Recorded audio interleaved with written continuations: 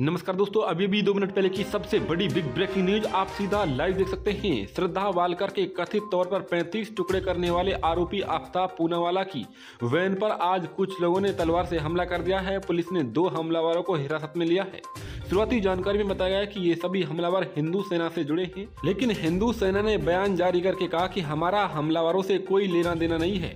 हम कानून को मानते हैं, ये हमला उस वक्त हुआ जब दिल्ली पुलिस आफ्ताब को एफ़ बिल्डिंग लेकर पहुँची थी। वैन के पहुँचते ही घात लाकर बैठे हमलावरों ने अपनी कार को, पुलिस वैन को ओवरटेक करके उसके सामने खड़ी कर दी और इसके बाद उन्होंने तलवार निकाली और वैन में मौजूद पुलिस अधिकारियों पर तान दी। जवाब में पुलिस अधिकारियों ने भी पिस्तौल निकाली और हवाई फायरिंग करने की दोस्तों पोजीशन में आ गए थे। इसके बाद भी हमलावर पीछे नहीं हुए और पुलिस अधिकारियों को तलवार से डराते रहे। इससे पहले कि ड्राइवर वैन को वहाँ से आगे ले जाता, हमलावरों ने वैन के पीछे दरवाजे को खोल दिया। इसी वैन में आफ्ताब मौजूद था।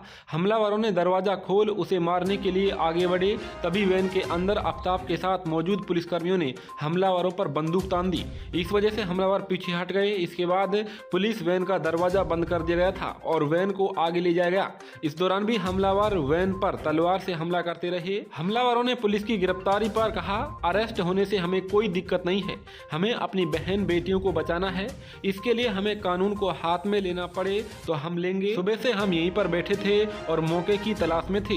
एक हमलावर ने कहा कि हम एक बार रात को ग्यारह बजे भी आए थे, लेकिन आफ्ताब नहीं मिला। और अब दोस्तों, उनकी वैन पर हमला हो गया है। बहुत ही बड़ी खबर इस वक्त आ रही है।